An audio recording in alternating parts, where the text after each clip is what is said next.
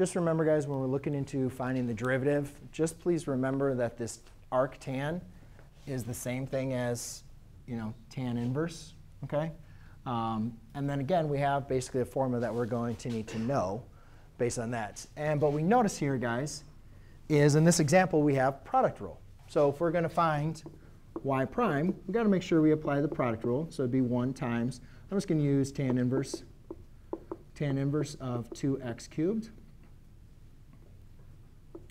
And that's going to be uh, plus x now times the derivative of this. Notice that our u is 2x cubed. That's important because we're going to need to be plugging that in. So it's going to be times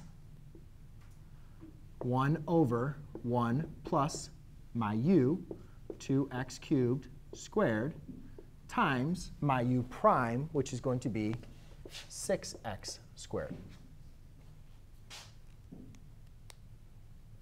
Okay? Then I can just kind of simplify this a little bit.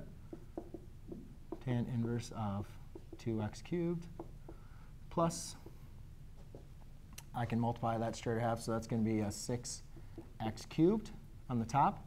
And then we can simplify that. Just remember, guys, when you have 2x cubed squared, you got to make sure you square the 2 and raise and multiply the powers. So that's going to be 1 plus 4x to the sixth power.